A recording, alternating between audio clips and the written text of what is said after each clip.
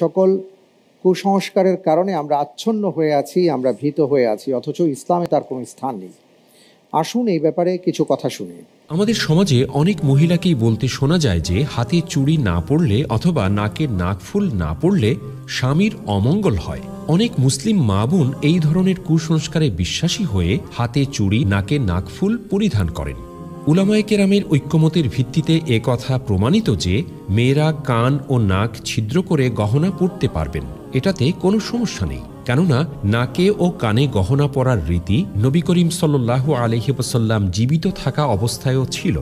কিন্তু তিনি এটি একবারের জন্য নিষেধ করেননি। এটা শুধু নিজের সৌন্দর্যের জন্য এবং নিজের স্বামীর সামনে নিজেকে সুন্দর করে উপস্থাপনের জন্যই পরিধান করবে। অন্য কোনো পরপুরুষের সামনে নয়। এবং অন্য কোনো ভ্রান্ত বিশ্বাস নিয়ে পরিধান করা যাবে না।